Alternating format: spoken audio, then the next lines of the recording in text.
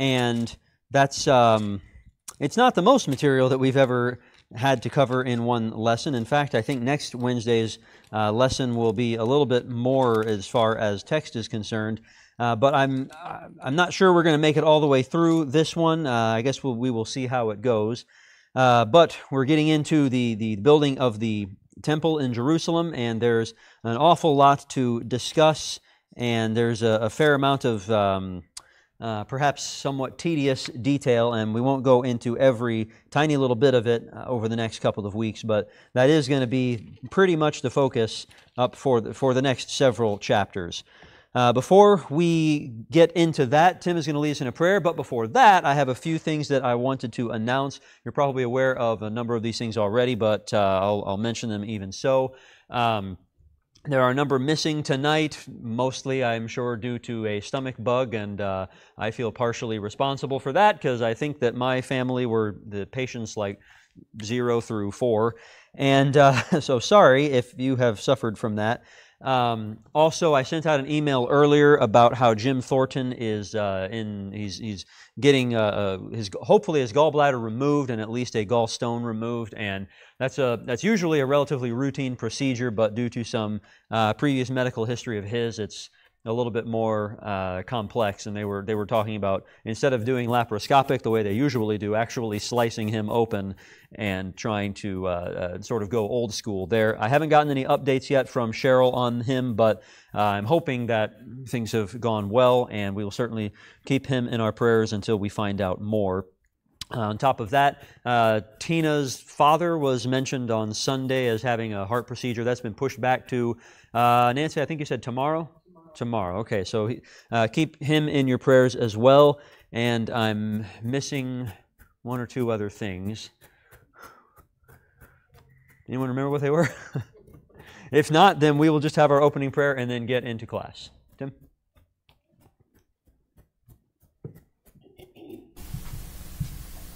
Let's bow.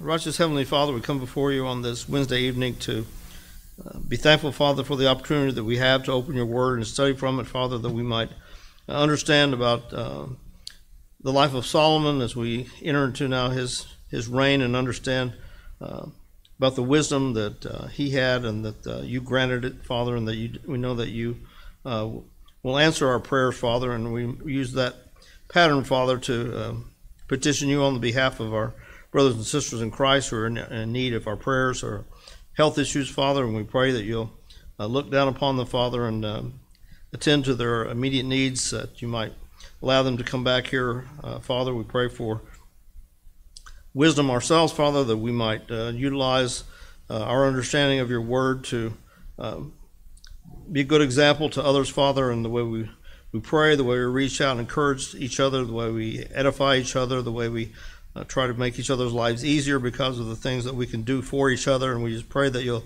help us to be a caring and loving congregation, Father, that looks out to the needs of our brothers and sisters, but also, uh, more importantly, for the lost, Father, that are, are, not found you. So help us each day, Father, to uh, let our light shine that we might be uh, good examples to uh, those around us. We, are thankful, Father, for uh, the opportunity we have to be your servants. We pray that you'll help us each day to be more Christ like in our activities and our love for each other and our compassion. We pray, Father, you'll help us to focus on the heavenly things above that have been prepared for us.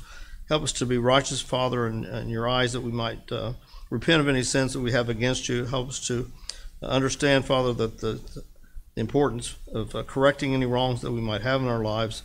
We might uh, put those things uh, away and to focus on um, the life that you would want us to live as, as your children. Help us each day, Father, to uh, look for opportunities to uh, teach the lost, to uh, live a Christian life, Father, as you would have us, as Jesus is our example. Help us to pattern our lives more like Him. We ask that you'll be with us as we open your word this evening. Help us to have a ready mind that we might uh, participate in the class. We ask all these things in the name of your Son. Amen. Who has the memory verse prepared?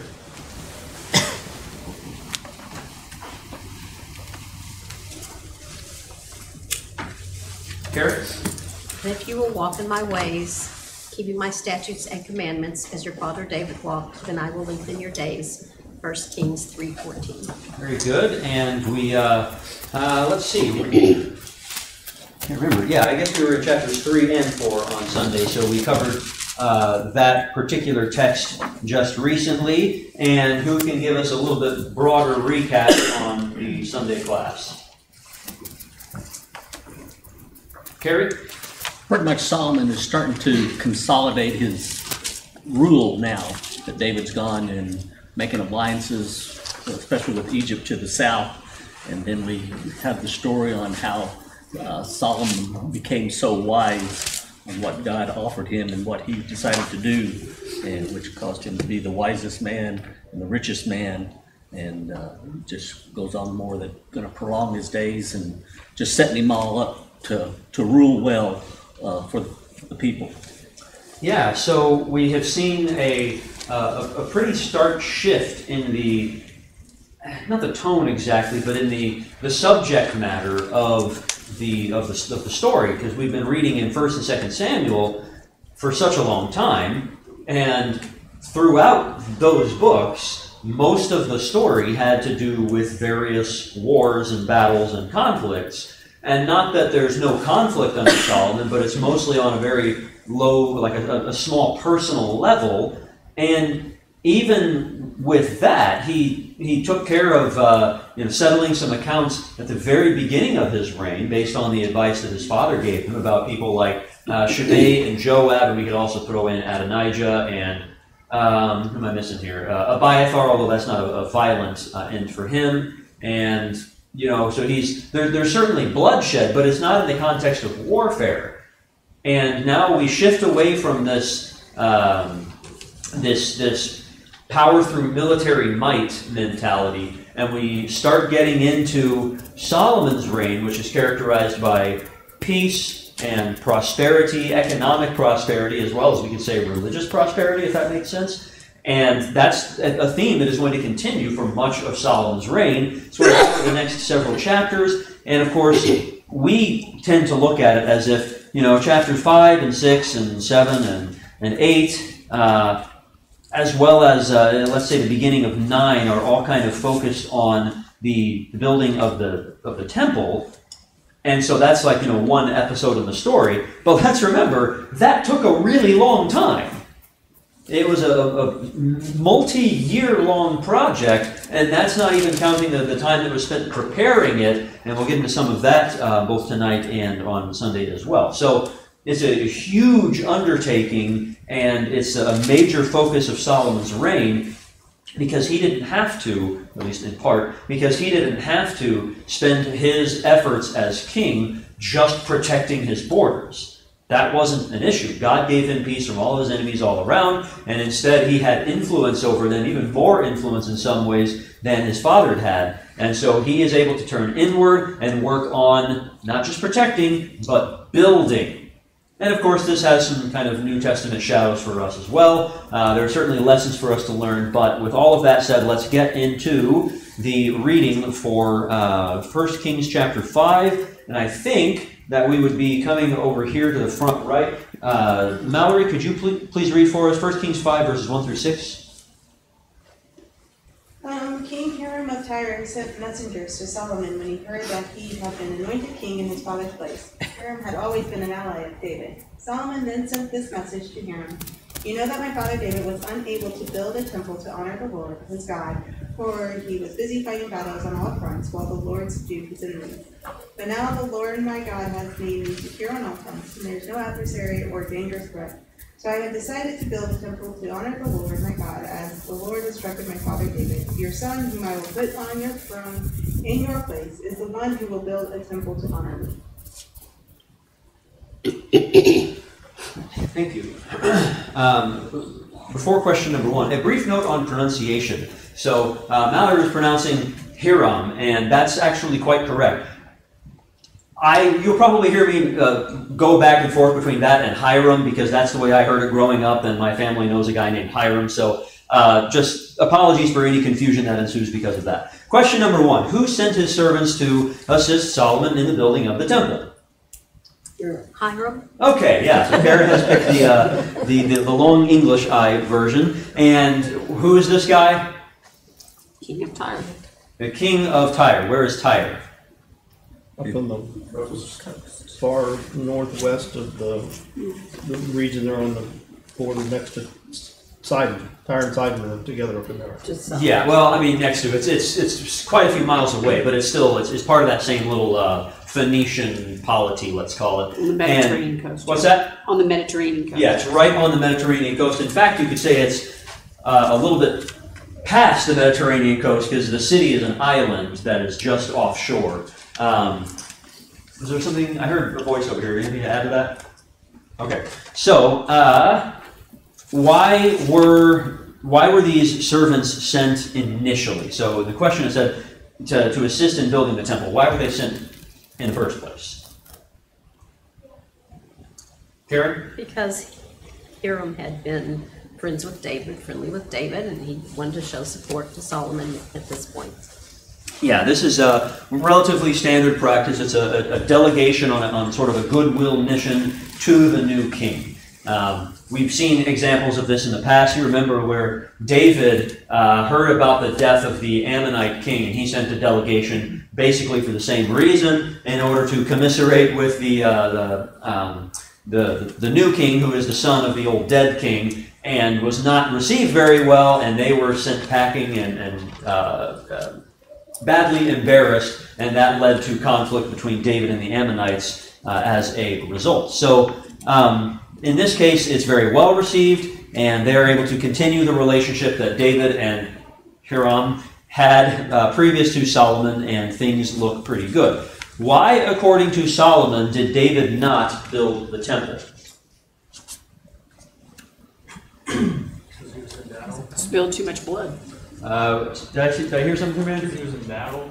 Okay, yes. So he was occupied with war basically for his entire reign. Is that the whole picture?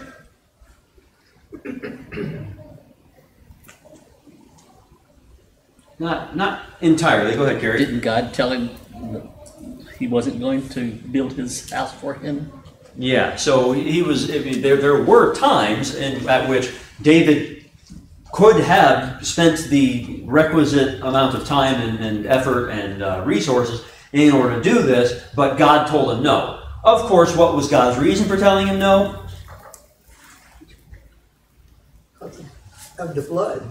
Because of the blood that he had shed in in war. So it is tightly connected, but I just want to make sure that we're clear on that. When Solomon says, eh, Solomon kind of makes it sound like, well, David was just always too busy to get around to doing this. And well, that's, I mean, it's connected to the, the battles, but it's not just that he was too busy, although he was very busy with warfare for most of his reign. Uh, I'm having a hard time reading my own writing here. You see this? Okay, so how was the how was the situation different now, uh, according to Solomon? He had peace. Nancy, There was peace everywhere. on every side is what he said, and um, so I said at the beginning, as we were sort of introducing this, that there are some New Testament shadows in this. Anyone? Can anyone figure out what in the world I'm talking about and explain it to me, Tim? Well, I read a, a note that, um, in verse four, neither is their adversary, that that word there actually meant, had a reference to Satan, Yeah, well, the, so the, the, the name Satan is just a Hebrew word for adversary. right? But that, that, I mean, Christ would put Satan under his feet. Right. And not until that had happened for David was now his temple going to be built.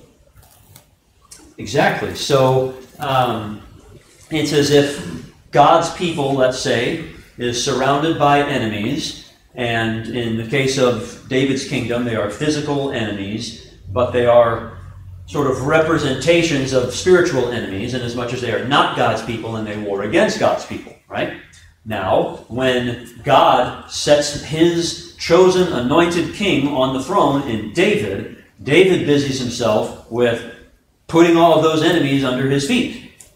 And his, um, let's say, spiritual father in heaven, who said to him, Psalm 2, You are my son, today I have begotten you, when he puts all those kings, all those uh, enemies under David's feet, now what ensues? Well, we've got a time of peace, and what does he do with that situation?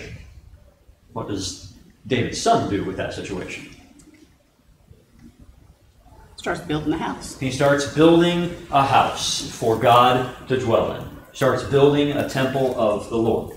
Okay, now we I've already kind of uh, tried to use some, some some terms that are easy to see how it applies to Christ, but now we've got God God's chosen anointed king who is uh, put on put on a throne, not not a physical throne, but the, the spiritual throne, let's say, of his father David, because he's also a descendant of David, and uh, given given power to conquer his enemies. Now, as the author of Hebrews says, we do not yet see every enemy under his feet, but we can certainly see how that work is in progress, and we get a, a taste of it, or we see a, a foreshadowing of it, a very clear foreshadowing of it, when Christ rises from the grave. That is not completely conquering, but it is a major victory over death, which is tied up with, with sin and corruption. It's tied up with Satan himself. So he has uh, um, uh, performed a victory. You know, he has, he has uh, achieved, there we go, achieved a great victory over these spiritual enemies, which are far worse than the physical ones, put them under his feet, and what did he set about doing afterward? What has he been doing for the last almost 2,000 years? Building his kingdom. Building a house for God to dwell in. That's the church. That's us. That's the, the, the souls here and across the whole world that uh, have, have been joined to God's people. And so we are now not only part of God's people, we're part of God's dwelling place. So we see all these, uh, these, these shadows of the plan that God always had in mind. And he plays the whole thing out several times over. And the, the, the situation with David and Solomon is one of the clearest predictions, and it's not a it's not like you know when when Daniel or Isaiah prophesied and said, you know, the days will come to pass when this will happen. There's plenty of that too. But God also sort of mimes out what he's going to do spiritually. And we are supposed to take those as uh, predictions, if not exactly prophecies, in just the same way. Okay, number two. What exceptional and needed skill did the Sidonians have? Nancy? They knew how to cut the wood. Yes, they were very good at cutting timber. So, speaking of New Testament foreshadowing, from the beginning of the work, who were enlisted to help building God's house? Karen? Foreigners. Foreigners, Gentiles. That seems important, doesn't it? Let's keep reading. Dan, can you take verses 7 through 12? Hiram heard the words of Solomon. He rejoiced greatly and said, Blessed be the Lord today, who has given to David a wise son over this great people. Hiram sent word to Solomon, saying, I have heard the message which you have sent me. I will do what you desire concerning the cedar and cypress timber. My servants will bring them down from Lebanon to the sea, and I will make them into rafts to go by sea to the place where you direct me. I will have them broken up there, you shall carry them away. Then you shall accomplish my desire by giving food to my household. Hiram gave Solomon as much as he desired of the cedar and cypress timber. Solomon then gave Hiram twenty thousand kors of wheat as food for his household, and twenty kors of beaten oil, as Solomon would give Hiram, Hiram year by year. The Lord gave wisdom to Solomon, just as he promised him. And there was peace between Hiram and Solomon, and the two of them made a covenant. Thank you. Question number three What did Hiram give to Solomon, and what did he get in return?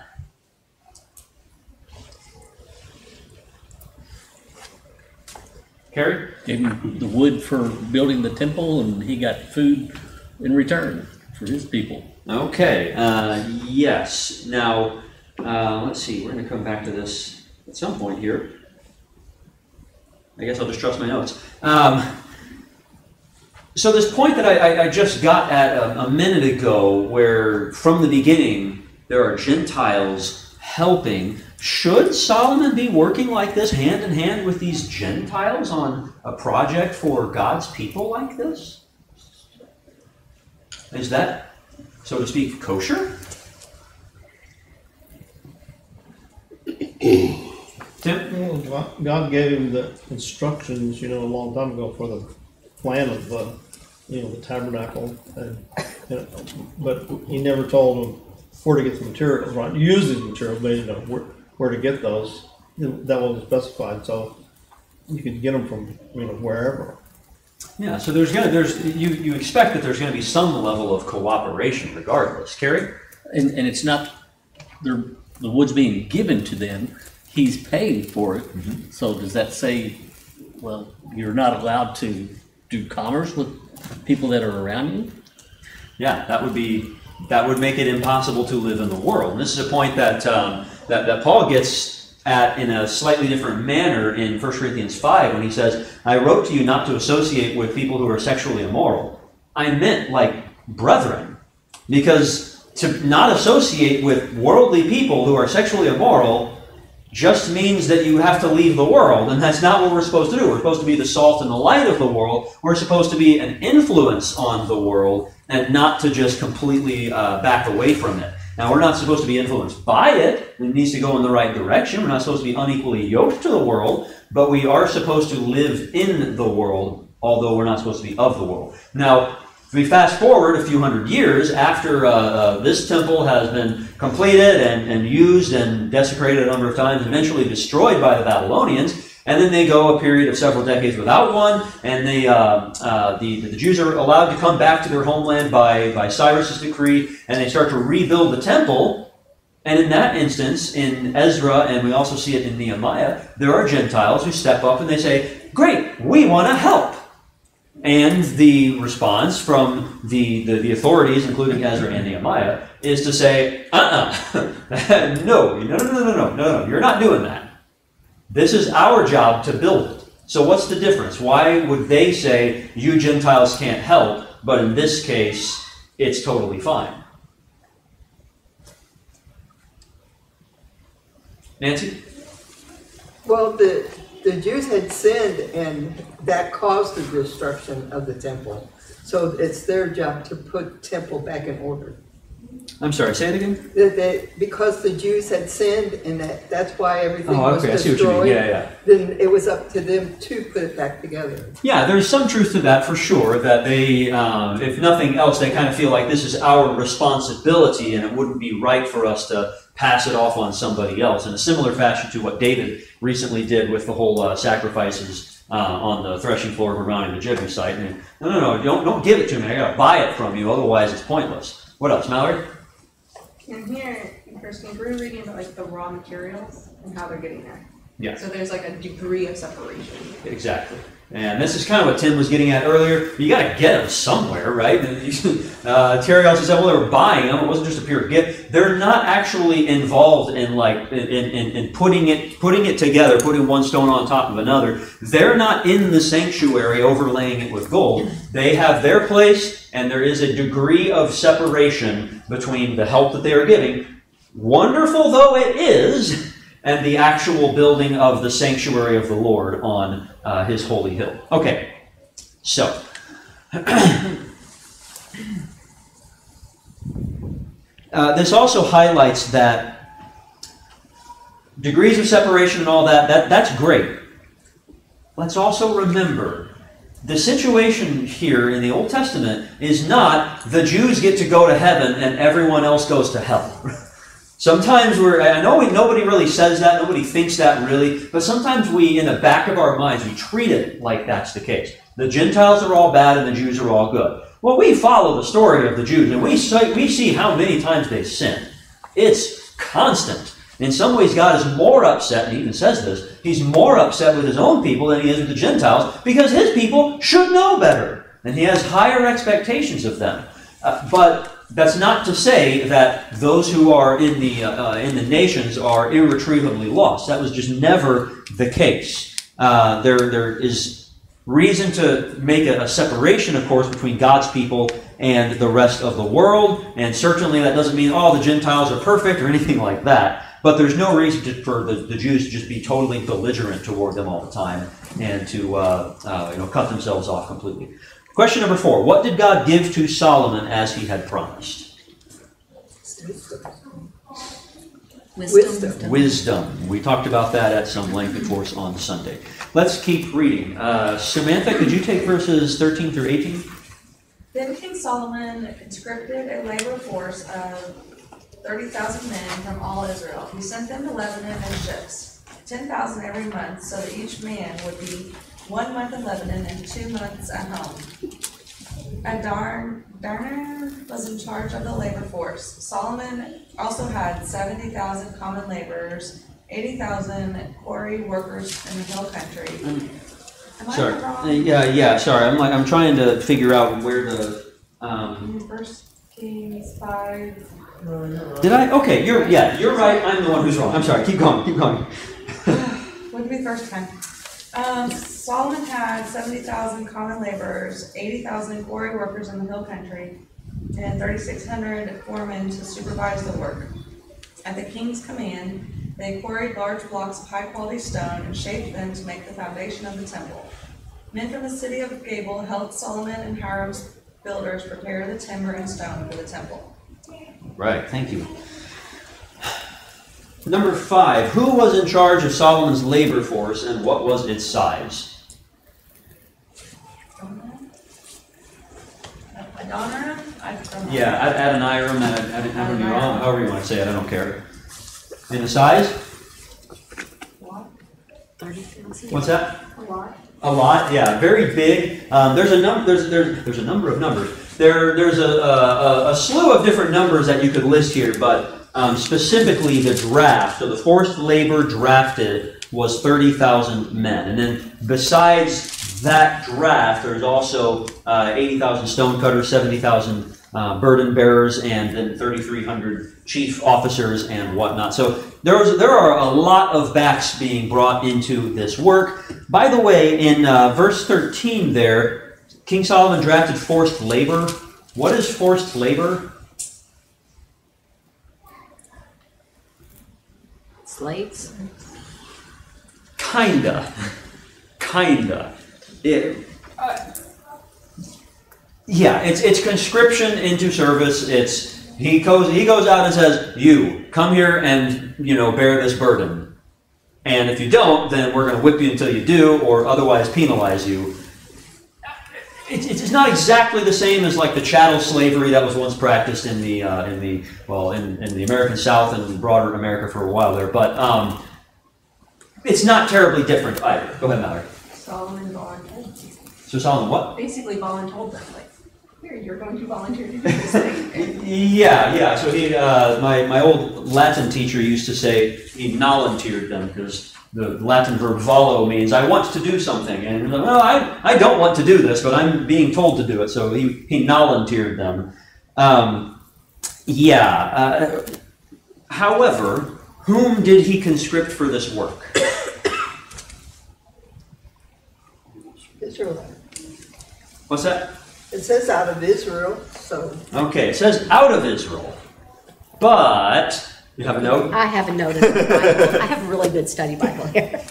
It's, it's the people that he had, or that had been conquered over time. It was not necessarily the Israelites themselves. In fact, it's necessarily not Israelites themselves. So if you jump forward to uh, chapter 9, verse 15, I will read that for us if I ever get there. Chapter 9, verse 15. This is the account of the forced labor that King Solomon drafted to build the house of the Lord and his own house, etc. Okay, now we jump down to verse 20. Now that we know what we're talking about. All the people who were left of the Amorites, the Hittites, the Perizzites, the Hivites, and the Jebusites, who were not of the people of Israel, their descendants, who were left after them in the land, whom the people of Israel were unable to devote to destruction, these Solomon drafted to be slaves, and so they are to this day. But of the people of Israel, Solomon made no slaves. They were the soldiers, they were his officials, his commanders, his captains, his chariot commanders, and his horsemen. Okay, so, um, yeah, we, we see a distinction being made here between the Israelites and the Gentiles who were still being allowed to live in the Israelites' land. There were a lot of these, and this is another thing that goes un, unnoticed or un, uh, unmentioned a lot. That we tend to think of it as if we, we, we know that under Joshua they, they didn't they didn't get everybody. And then with the judges, we know that yeah, there's the Philistines and the Midianites and the, uh, the, Canaanites that are constantly badgering them and making things difficult. But we start to think that it's as if, like by the end of Judges, there's there's no Gentiles left. Well, of course, there's that weird little pocket of Jebusites uh, in the city that later became Jerusalem, and so David had to conquer. But that's pr- pretty much it, right? There's no more. Gen- there's tons of Gentiles still living within Israelite land. Lots and lots and lots of them. And there were provisions and laws made about that uh, for a long time, and that is where Solomon was getting this, um, shall we say, forced labor. Chapter 9 just calls it slavery. However, was Solomon just heartless toward these Gentile conscripts? No. Aaron says no. How so?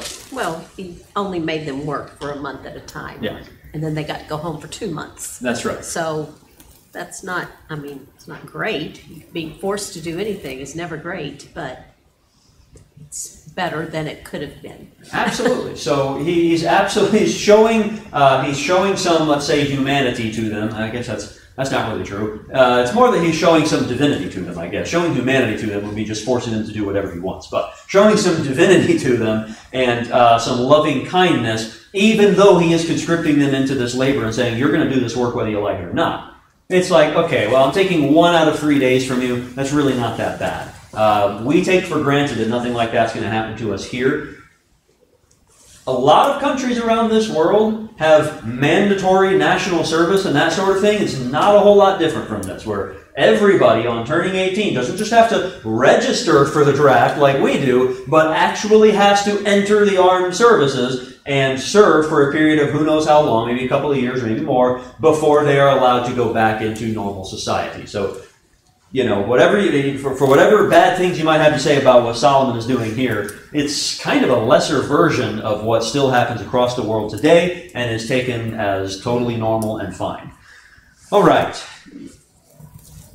Let's keep reading. Uh, oh, I'm sorry. Mallory has a hand. Um, when you were talking about like the, the Gentiles that are still there, if I remember correctly, in one of the many boring books with the laws, weren't like people, sojourners and conquered people, they were allowed to be there as long as they upheld God's rules. So that, to your point, like there are Gentiles who basically still follow God's rule. Just they just didn't have the right bloodline, right? Yeah, basically, yeah. So, uh, and we see examples of this. I mean, there was Araunah the Jebusite. That's a Gentile, and David not only um, you know had dealings with him, but insisted on paying him the, the, the proper value for the land that he was buying from him, which of course is where this temple is going to end up sitting. Uh, we had another of David's helper, well, uh, helper slash victims, Uriah the Hittite. It's another Gentile who was not only living in the land, but was actually uh, a, a, a significant member of, uh, of David's um, David's army, let's say, uh, a captain of, among his, uh, his his mighty men. So um, yeah, lots and lots of Gentile Jew interaction that was you know benevolent and well, let's say benign is a better way to put it. Okay, now uh, Kevin, can you take verses one through seven of chapter six, please? It was in mid-spring, in the month of Ziv, during the fourth year of Solomon's reign, that he began to construct the temple of the Lord. This was four hundred and eighty years after the people of Israel were rescued from their slavery in the land of Egypt. The temple that King Solomon built for the Lord was ninety feet long, thirty feet wide, and forty-five feet high. The entry room at the front of the temple was thirty feet wide, running across the entire width of the temple. It projected outward fifteen feet from the front of the temple. Solomon also made narrow recessed windows throughout the temple. He built a complex of rooms against the outer walls of the temple, all the way around the sides and rear of the building. The complex was three stories high, the bottom floor being seven and a half feet wide, the second floor nine feet wide, and the top floor ten and a half feet wide. The rooms were connected to the walls of the temple by beams resting on ledges built out from the wall. So the beams were not inserted into the walls themselves. The stones used in the construction of the temple were finished at the quarry so there was no sound of hammer, axe, or any other iron tool at the building site. Thank you. Okay, number seven, what were the temple's dimensions? Sixty cubits length, width twenty cubits, height thirty cubits, which is ninety by thirty by forty-five. Okay, so um, for reference, 90 feet is almost exactly from that wall to the front door there. And then uh, 30 feet is, it's, it's not quite, it's not, it's like half as wide roughly as this auditorium, okay? So like from, I guess, about where Janet sits to about where Mallory sits, that's the, the width of the temple, and it's about the length of this building, okay? And of course, 45 feet high is way, way up there. Um, was this just a simple box? An elegant, Very, box. very elegant. There's a detail that, I mean, I've read this. I, I can't tell you how many times I've read this, but this time going through it, I noticed another detail that, and actually the artist rendition covers um, on the, the, the previous page. I just gave myself a paper cut. Um, where if you look at the, the, the side wall where there's a cross section, you'll notice that the wall starts out really thick at the bottom, and then it goes up to the top of the first story, and then it gets a little bit thinner. But on the outside, of course, it just goes straight up, but there's like an offset for each story. And that's part of the pattern here. That there's this offset here so that they didn't have to stick any wooden beams through the stone in order to have like an unsightly, inelegant hole with a piece of wood sticking out of it. And instead, they built this entire exterior with this, this ridiculously overly thick out, outer wall at the bottom, and then stepped it up so that they could rest the, the roof beams, which need to be wood, on top of it instead for the aesthetics of it. The aesthetics, the, that, uh, the word that Janet used was elegant. I think that's a really, really good um, description of this design. By the way, this artist rendering here, um, obviously it's just an artist rendering. It's pretty good. I think it's very accurate to the, uh, the text here. Um, that's why I chose to include it. And uh, if you haven't already, take some time looking at this thing and know that it's not just some guy's crazy image of, you know, I bet it looked something like this.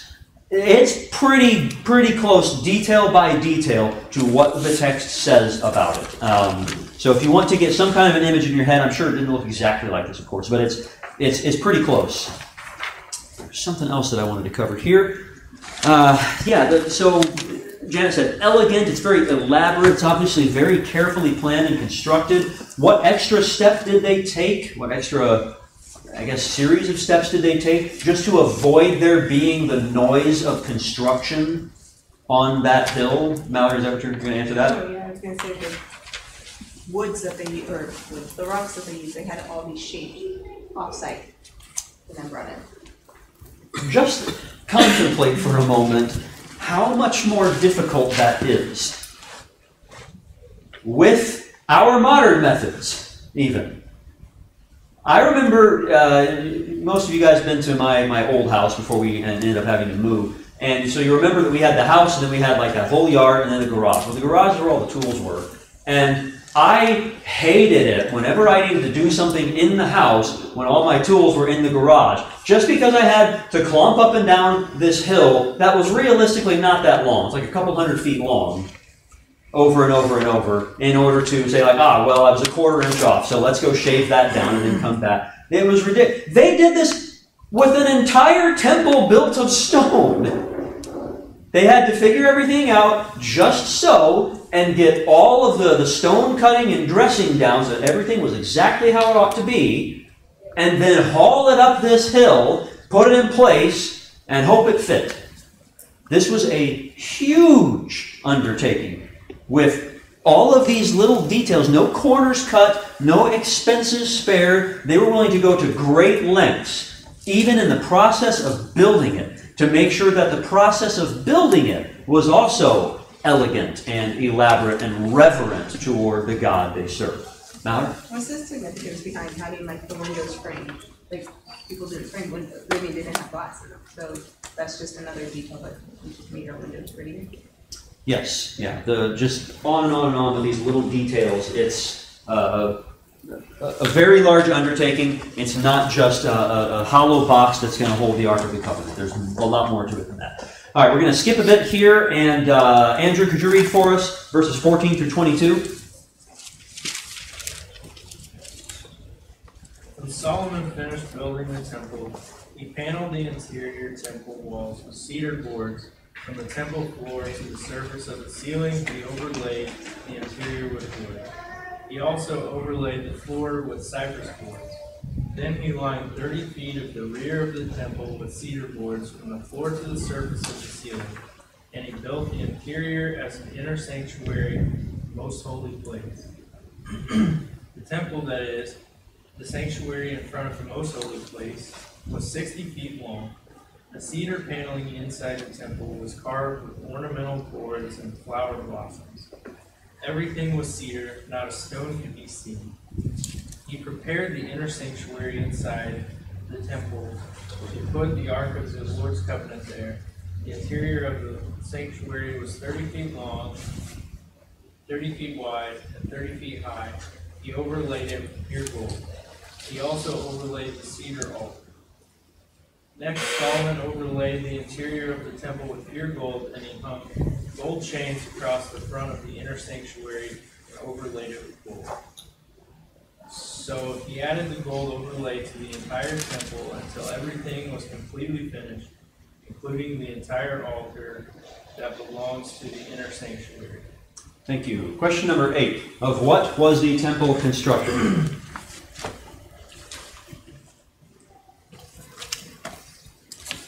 It's a slightly complicated answer here. Well, it was Denise, your made hand of- up? It was made of stone, and then it was made out of cedar.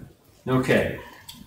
Tim? And cypress and gold. Yes. And the cypress, so cypress is a, a slight distinction from cedar, but they're basically the same. Um, they're, oh, we'll come back to that, I guess. So the outside, to look at it from the outside, you would just see stone. Everything is, um, you know, finely dressed, polished stone. But on the and you wouldn't see any wood. Remember, they, they did that offset thing so there'd be no holes with wood beams sticking out. And then on the inside, you couldn't see any stones. On the outside, you don't see any wood. On the inside, you don't see any stone. Everything is covered with cedar. And then on top of that, it's overlaid with gold. Uh, Janet? Did they use mortar or some kind of something on the stone? Presumably there was some, but uh, I just know Greek architecture, masonry, you don't necessarily need it. Right. I Because they're really stupidly heavy stones that have been very, very finely dressed to fit perfectly. Karen? The, the um, pyramids don't have mortar, do they? Aren't they? Uh, I do not know, but I I, feel like that, I've always heard that they are just stone on top of stone. yeah, yeah. So it's a, it's a similar, it's called ashlar masonry, where you take, you get the biggest rock that you can pretty much, and you shape it exactly as it needs to be, uh, and then, and then put it in place. You don't really need mortar to hold it together. Okay, so why would they use uh, cedar and cypress in particular? Why was, why did that matter?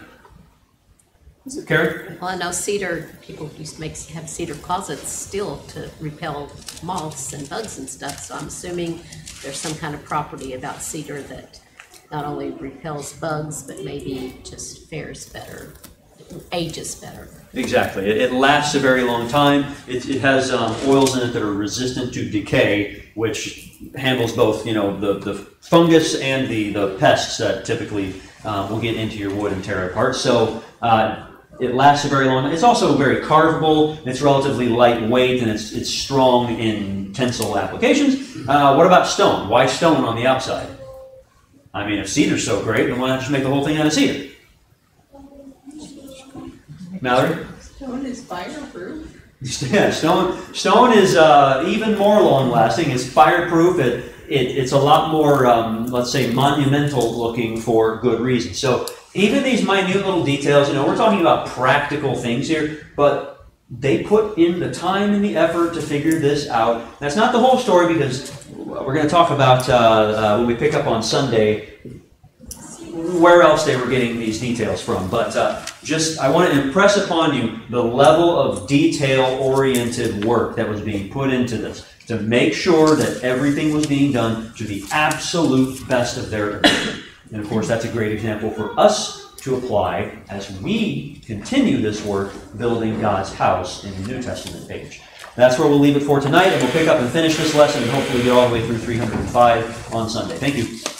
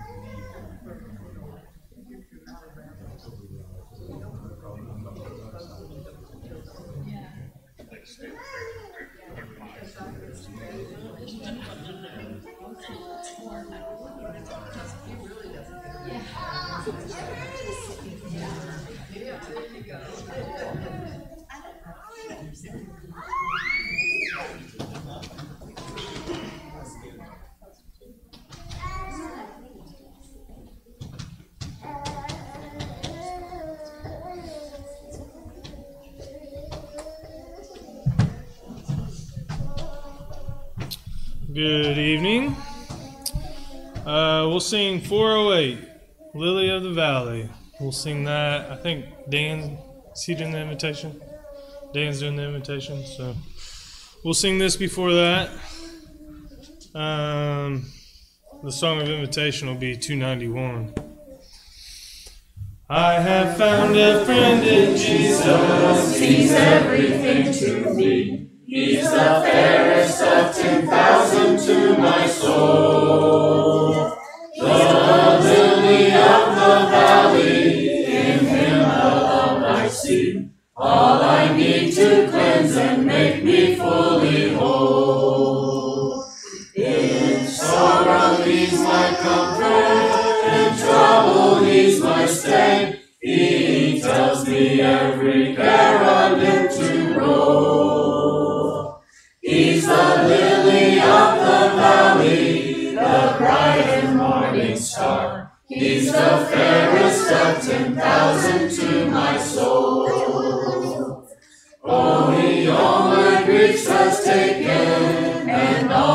Sorrows borne.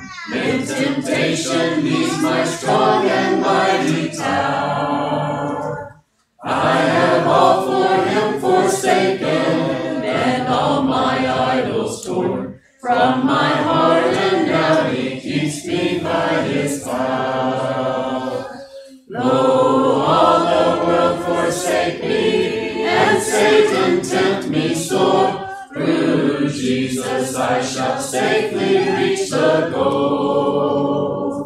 He's the lily of the valley, the bright and morning star. He's the fairest of ten thousand to my soul. He will never, never leave me, nor yet forsake me here, while I live by faith and do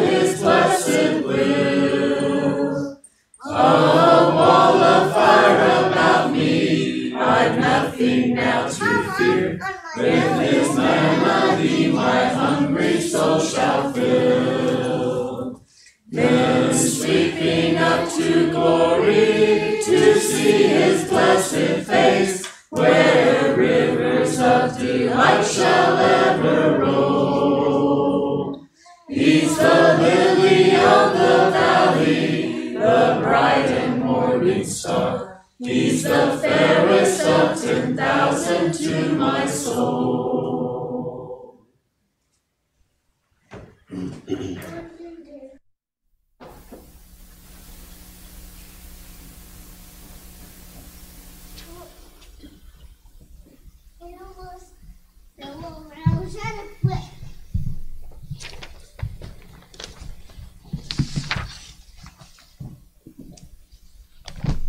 Evening.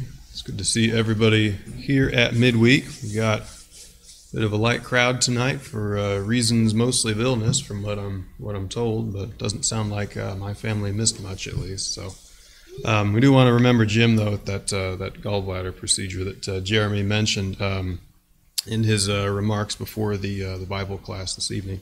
Um, I had an invitation prepared um, that is at least a little bit in reference uh, to an invitation that Dustin had delivered near uh, the beginning of the year. Uh, if you remember that, uh, I was, I think it was the first week in January, something like that.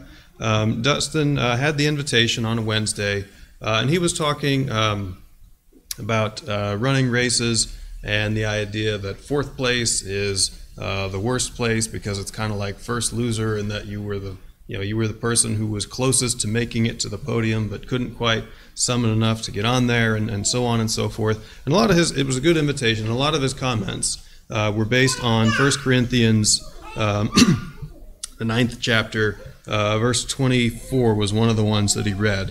Uh, and it says there do you not know that those who run in a race all run but only one receives the prize? Run in such a way that you may win. I have seen a version of this play out in my own home uh, in the few weeks since Dustin gave that invitation. Um, this is what I'm. This is what I'm getting at. Uh, back at Christmas time, uh, one of my sisters gave our kids a Nintendo Switch. It's a video game system, um, and this included Mario Kart, which is a racing game. In December and early January, Julius wanted to play. He was a little too young for it though, so we would do the thing that a lot of families do with the youngest kid, right? Which is that we give him an inactive controller and he, you know, quote unquote, picks one of the people on the screen and he's watching and he's cheering and he'll claim that he's winning, but he wasn't really in control, right? He wasn't really running his own race. He was claiming a screen that was being controlled by one of the other kids, by someone else. Fast forward to today. It's, the, it's, now the middle of February. He has learned enough to know how to actually participate. He gets a controller that is actually connected. He gets to actually pick his own character. He is now running his own race. He can read the screen well enough to know how he's doing, right? Is he in first place? Is he in second? Is he in third? Is he in last place? Julius is three years old. It's a challenging game. He's usually losing. Back in December, he didn't know enough to know how he was doing. Today, he is informed enough to recognize his own condition. And again, that condition, usually losing. He doesn't like that. In the spirit of 1 Corinthians 9:24, Julius isn't going to quit though. He's going to keep running his own race, and he can't and he recognizes that he can't do it on his own. He can't run it in a way that is going to win if he's left to his own devices. So, he asks for help. And I think the symbolism here is pretty neat. Now, Caleb, in his sermon on Sunday morning, um, brought up uh, Matthew 18:4. Whoever will humble himself like this child, he is the greatest in the kingdom of heaven. When Julius didn't know his condition, he didn't know that he was losing. As soon as he knew enough to understand his own condition that he was losing these races, he was humble enough to ask for help. In neither of these scenarios, right, when he was ignorant and when he had learned something, in neither of these scenarios is he capable of winning on his own. The only difference is that when he recognized it, he almost immediately and automatically starts seeking help so he can reach that goal of winning the race. It's kind of a silly example, right? But I think that you know there's a valid point that underpins it. Um, Julius is asking for help because he's humble. He's humble because he is a young child. For the rest of us, though, asking for help is harder, right? Uh, there are, you know, we, this is the place where we could like launch off into the entirety of a sermon, which we don't have time for tonight. Uh, but I think, you know, at a high level, we could say there are a couple of reasons maybe that we don't ask for help, right? Number one, will others think less of me? Number two, how will my change reflect on my loved ones who don't change along with me? Um, now, the reaction that you should get if you make a change is the one that is described in Galatians 6 2, right? That if you reveal something about yourself that you need help with, and I am aware of that, then I should, as the verse says, uh, be willing to bear those burdens and so fulfill the law of Christ. If you reveal that weakness uh, and ask for help, I, as your brother in Christ, should be willing and eager to help you in that. I think we would all agree with that and hope that's the place where we all stand on this. But I can't guarantee that that is that you are going to get that response everywhere you go on the earth right matthew 5 is full of warnings about being persecuted in spite of doing the right thing um, there has a reason for that. Verses 10 through 12 is just one of those examples. Blessed are those who are persecuted for righteousness sake for theirs is the kingdom of heaven. Blessed are you when others revile and persecute you and utter all kinds of evil against you and falsely on my account. Rejoice and be glad for your reward is great in heaven for so they persecuted the prophets who were before you. I don't want to be glib, but if being persecuted in this way sounds stressful, then I have what you could take as some good news, right? That is just one more thing that you now need to ask for help about. Philippians 4 6 through 7. Do not be anxious about anything, but in everything by prayer and supplication with thanksgiving, let your requests be made known to God. And the peace of God, which surpasses all understanding, will guard your hearts and your minds in Christ Jesus. To say this more plainly, right, we could look at 1 Peter 5 7. Cast your anxieties on him because he cares about you. With those two verses in mind, do you have anything to be anxious about? The answer is yes. Yes, you do. We all do. If, right, if you keep it to yourself. If you don't ask for help.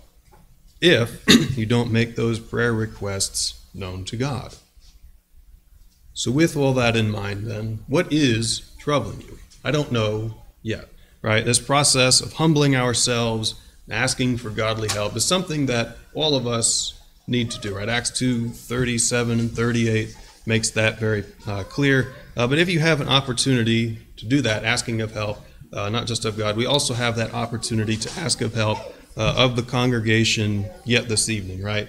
And what we can say with confidence is that if you make those requests known, you know, here and now, then we will take that spirit that's described there in Galatians 6 2 uh, in helping you to bear those burdens, whatever they may be, uh, if it's something that you make known. Uh, please do consider these things uh, of humbling ourselves and asking for help when we recognize the need. Um, please uh, consider all that as we stand and as we sing.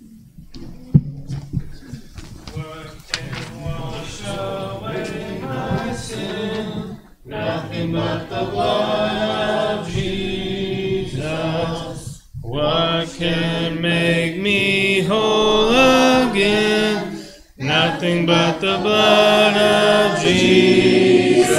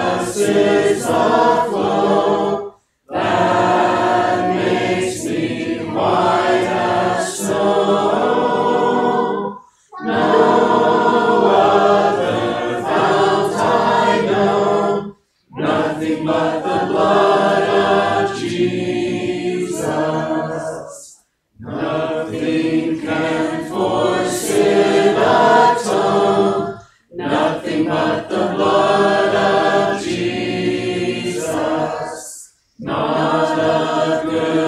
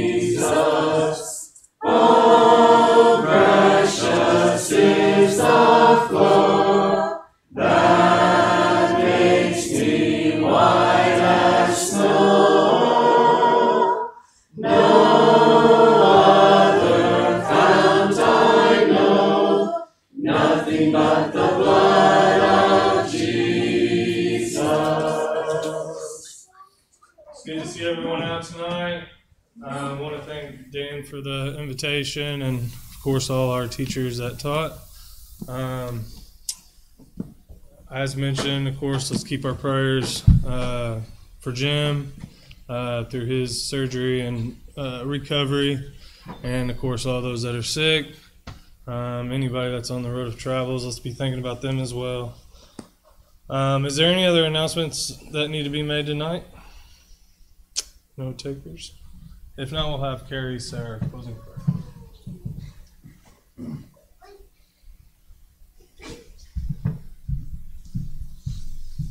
Pray with me. Our Father in heaven, thank you for this day. Thank you for all your blessings you have bestowed upon each and every one of us and our families. Father, we especially thank you so very much of that blessing of your Son so that we might have the opportunity to be with you when this life on earth is over. Father, at this time we ask you to be with those that have been mentioned sick, so many that we ask that you would heal them and comfort them and all would be well. We always ask you to be with Hannah and the baby, would all would go well with her and the baby. Father, we also asked that you would guide our footsteps as we go through life. We ask for forgiveness of those things we have done wrong.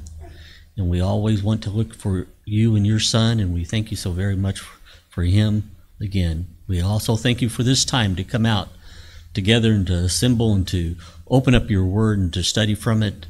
We ask that we gain much knowledge and wisdom and we use it to further your kingdom. In Jesus' name, amen.